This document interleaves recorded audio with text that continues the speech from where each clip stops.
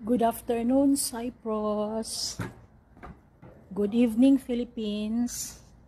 At sa lahat ng nanonood ng video ko, ipapakita ko sa inyo, ito to talaga yung pinaka-main city center ng Guzeliot, Cyprus. So, tingnan nyo sa background, makikita nyo yung mga shop dito. Pero, ngayon kasi Sunday, kaya sarado.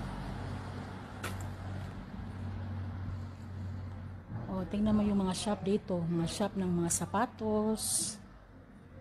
Hmm. Shop ng sapatos. Open sila. Ito naman shop ng mga laruan. O, ito. Ito talaga ang pinaka-main city center. Kung saan makikita ninyo ang tindahan ng mga alahas. Pero sarado siya kasi nga Sunday. Yung iba open. O, yung mga shop.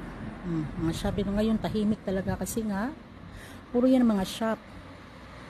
Kasi nga linggo ngayon.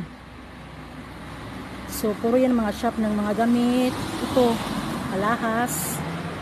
Tapos ito talaga uh, lumang uh, city talaga to kasi nga ang history ng Cyprus lumang city ito talaga to. Ito ay Greek village dati.